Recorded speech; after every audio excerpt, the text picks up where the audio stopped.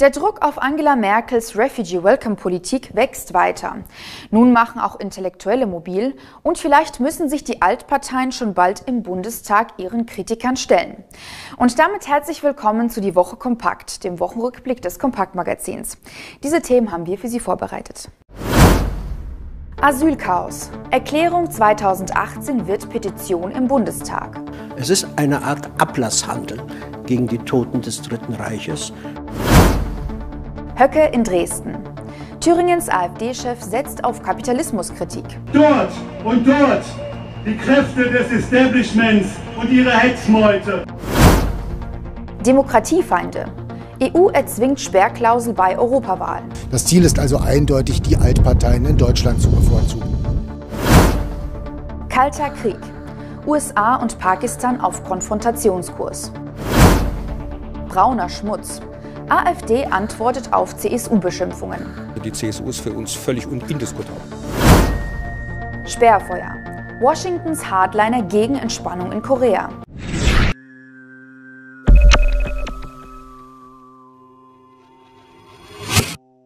Sie ist kurz, aber erfolgreich. Die nur zwei Sätze lange Erklärung 2018 unterstützten seit Mitte März im Internet rund 165.000 Menschen. Mit dieser Erklärung hatten sich zunächst Intellektuelle und Schriftsteller gegen die deutsche Asylpolitik ausgesprochen. Am Mittwoch wurden die Forderungen nun als Petition beim Bundestag eingereicht. Einen Tag später stellten sich die Initiatoren der Presse. Etwas verloren wirkten sie schon in den Weiten des Paul-Löbe-Hauses.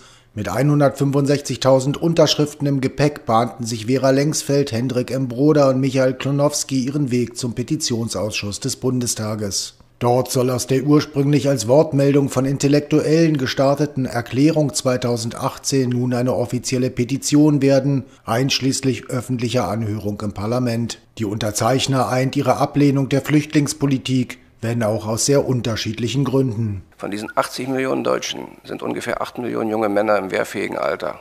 Wehrfähig sehr weit gesetzt, fast bis zum Volkssturm.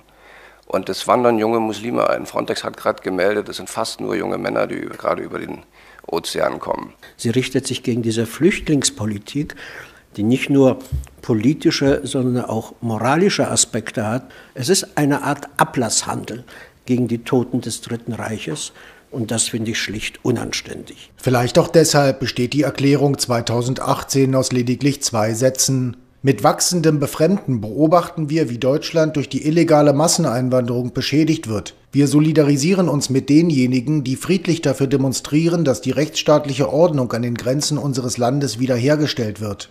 Darauf einigen konnten sich Erstunterzeichner wie der Schriftsteller Uwe Tellkamp, der SPD-Politiker Thilo Sarrazin und der Publizist Matthias Matusek. Es ist ein Protest der Intellektuellen, nicht der Straße. Ob etwa die Unterstützung für friedliche Demonstrationen auch für Pegida gilt, beantwortet Lengsfeld auf einer Pressekonferenz am Donnerstag nur ausweichend. Pegida ist ja nun bekanntlich äh, schon Jahre vor unserer Erklärung entstanden und, und hat mit unserer Erklärung ja. äh, gar nichts zu tun. Pegida hat auch ein ganz anderes Anliegen, steht ja auch im Namen, gegen die Islamisierung des Abendlandes. Davon steht nichts in unserer Petition. Nach ihrem Erfolg müssen die Initiatoren nun allerdings erneut mobilisieren. Der Petitionsausschuss erkennt nur jene Unterstützer an, die sich zuvor beim Bundestag registriert haben. So sollen Doppelunterschriften verhindert werden. Ab 50.000 Unterstützern sieht eine allerdings informelle Regel die öffentliche Beratung im Ausschuss, einschließlich Übertragung im Parlamentsfernsehen vor. Hendrik M. Broder weiß wohl schon, was er dem Petitionsausschuss gerne sagen würde. Es machen Flüchtlinge Ferien in den Ländern, aus denen sie geflüchtet sind, weil sie dort politisch verfolgt wurden.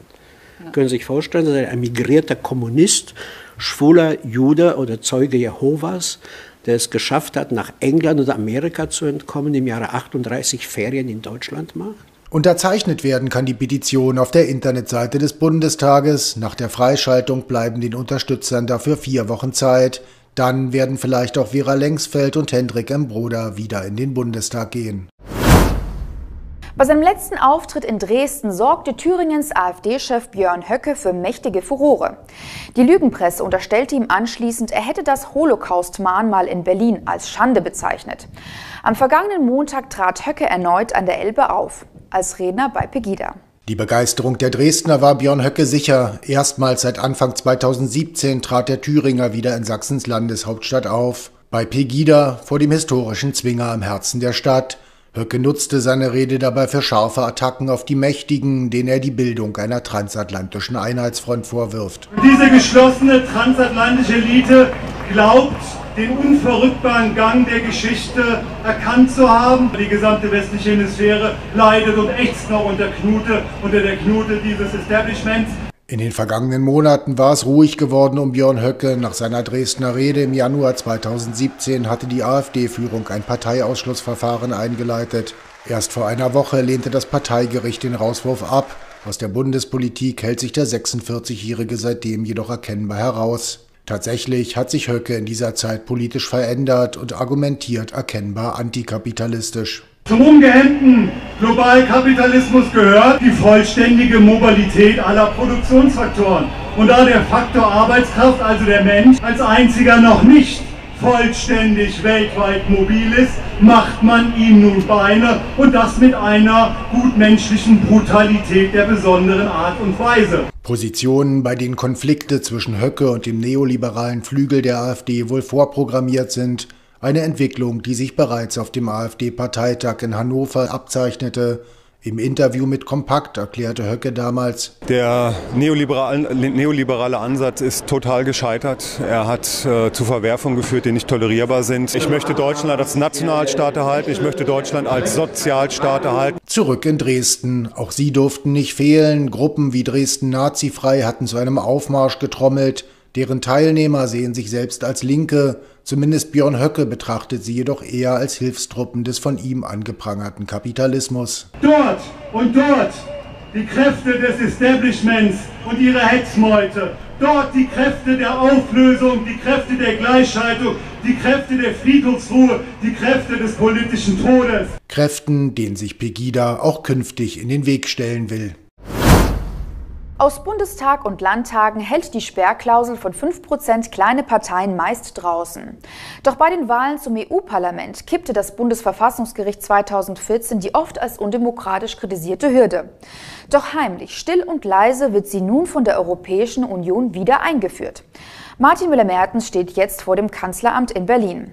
Martin, ist die neue Hürde denn schon beschlossen? Na, sagen wir es so, formal beschlossen ist es noch nicht, aber das ist wohl nur noch eine Formsache. Bis 26. Mai sollen die EU-Mitgliedstaaten einer neuen EU-Verordnung zustimmen, wonach zwingende Sperrklauseln bei den EU-Wahlen zwischen 2 und 5 Prozent betragen müssen in jedem Land. Damit die Frist auch eingehalten wird, holt Brüssel diese Zustimmung sogar im Umlaufverfahren ein, also ohne Diskussion. Als treibende Kraft gilt Deutschland, wo das Bundesverfassungsgericht die Klausel 2014 gekippt hatte. In der Folge mussten die Altparteien eine ganze Reihe von Sitzen an kleinere Konkurrenten abgeben. Neben Deutschland müssen aber auch die übrigen 26 verbleibenden EU-Staaten der Sperrklausel zustimmen. Gibt es Widerstand der übrigen Regierungen? Es gab Widerstand von Belgien, aber Brüssel hat sich auf Druck Berlins jetzt dazu durchgerungen, sich zu enthalten, was ja einer faktischen Zustimmung gleichkommt. Ansonsten ist die Regelung für die meisten kleineren EU-Staaten gar nicht relevant. Sie haben so wenige Abgeordnete, dass sich ohnehin eine faktische Klausel ergibt. Die liegt bei einigen Ländern teilweise bei 20 Prozent. Frankreich hat bereits jetzt eine Sperrklausel und Spanien wurde mit dem Versprechen geködert, die Klausel erst für die Wahlen 2024 einführen zu müssen. Das Ziel ist also eindeutig, die Altparteien in Deutschland zu bevorzugen. 2014 wurde die Hürde vor dem Bundesverfassungsgericht gekippt. Insbesondere die Parteien, denen nun der Verlust ihrer Mandate droht, werden doch sicher wieder nach Karlsruhe ziehen. Ja, natürlich werden sie das, aber die Chancen sind sehr gering. Das Bundesverfassungsgericht hatte bereits 2014 erklärt, dass es sich einer Sperrklausel im Europarecht nicht verschließen würde. Wie hoch die Klausel in Deutschland ausfällt, ist übrigens noch unklar. Allerdings war vor dem Urteil 2014 vom Bundestag schon einmal eine 3%-Hürde beschlossen worden, die dann gekippt wurde. So in etwa könnte es jetzt wieder ausfallen. Ob Asylwahn oder Demokratieabbau. Kompakt kämpft gegen den neuen Totalitarismus. Mit einer der wichtigsten Waffen. Unabhängige und seriöse Informationen durch Kompakt TV. Doch die Produktion dieser Sendung kostet viel Geld. Damit wir auch weiterhin jede Woche für Sie auf Sendung bleiben können, brauchen wir Ihre Hilfe. Ihre Spende kann die Zukunft dieser wichtigen Nachrichtensendung sicherstellen. Wie Sie spenden können, erfahren Sie in der Sendungsbeschreibung. Einst bauten die Geheimdienste der USA und Pakistans gemeinsam die Taliban in Afghanistan auf. Nun beschimpft Washington seinen ehemaligen Verbündeten, weil der angeblich den Terror im Hindukusch unterstützen würde. Die Stimmung zwischen Washington und Islamabad nähert sich dem Gefrierpunkt. Jetzt griffen beide Staaten sogar zu Methoden, die an den Kalten Krieg erinnern. Diese Bilder zeigte Pakistans Fernsehen im April immer und immer wieder. Ein Auto in der Hauptstadt Islamabad ignoriert eine rote Ampel und stößt gegen ein Motorrad. Ein junger Mann stirbt, ein zweiter wird schwer verletzt. Eigentlich keine Nachricht für ein Land, in dem pro Jahr rund 5000 Menschen ihr Leben im Straßenverkehr lassen. Doch der Verursacher ist Joseph Hall, Militärattaché der US-Botschaft. Trotz diplomatischer Immunität verhängte Pakistans Justiz überraschend ein Ausreiseverbot. Ein US-Flugzeug, mit dem Hall außer Landes gebracht werden sollte, musste ohne ihn starten. Dass Pakistans Behörden in dem Fall durchgreifen, zeigt die Eiszeit zwischen den beiden Staaten. US-Präsident Donald Trump warf Islamabad im Januar in scharfen Worten Terrorunterstützung vor. Abdullah Khan vom Institut für Konfliktforschung hält das für eine Ausrede. Americans die Amerikaner haben ziemlich versagt bei ihrem militärischen Vorgehen in Afghanistan. Nun suchen sie Ausreden und beschuldigen Pakistan. Der eigentliche Grund für den Streit dürfte die Annäherung Pakistans an China sein. Der damalige Außenminister Kawaya Asif versuchte im vergangenen Jahr noch die Beziehungen herunterzuspielen. Uh, Wir möchten, dass unsere Freunde ihre Beziehungen zu uns, Pakistan, als unabhängige Beziehungen betrachten, nicht um Druck auf dritte Staaten auszuüben.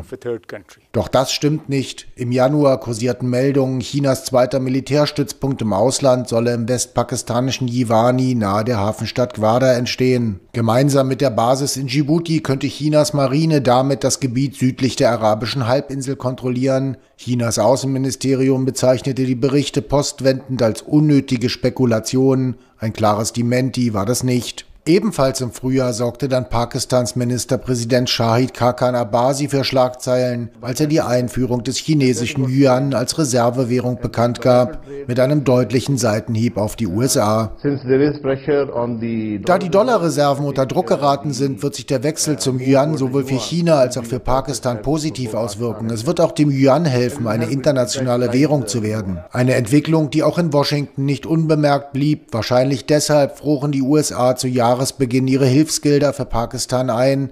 Andrew Small von der transatlantischen Lobbyorganisation German Marshall Fund meint sogar, Pakistan ist nicht nur Chinas engster Freund, sondern man kann sagen, es ist Chinas einziger richtiger Freund.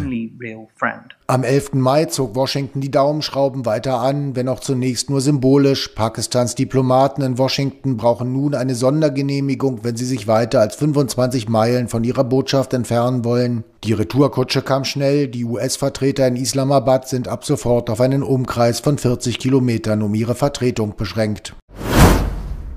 Feinde Bayerns und brauner Schmutz. Mit diesen Worten bezeichnet ein Strategiepapier von CSU-Generalsekretär Markus Blume die AfD im Freistaat. Fünf Monate vor der Landtagswahl nimmt die Auseinandersetzung zwischen der ewigen bayerischen Regierungspartei und der neuen Alternative an Schärfe zu. Doch wie reagiert die AfD? Kompakt TV sprach mit dem parlamentarischen Geschäftsführer der Bundestagsfraktion Hans-Jörg Müller.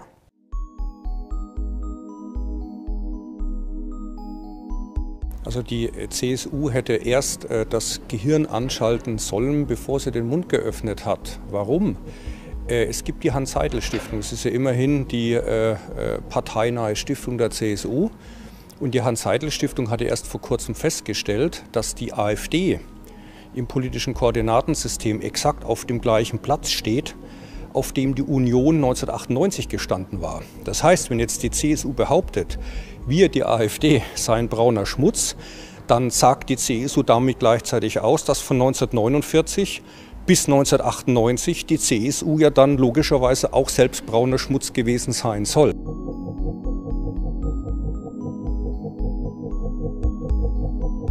Ich meine, wir sind natürlich äh, äh, qua Logik die, äh, die Nachfolgepartei äh, der CSU und werden sie natürlich äh, mittelfristig bereits in Bayern beerben. Und natürlich haben sie Angst jetzt, den Platz an uns zu verlieren. Und das ist wahrscheinlich der Grund, warum die hier so kopflos hantieren. Die CSU hat sich inzwischen in Richtung des linksextrem versifften gesamtpolitischen Lagers entwickelt und deswegen ist eben der Platz für uns frei geworden.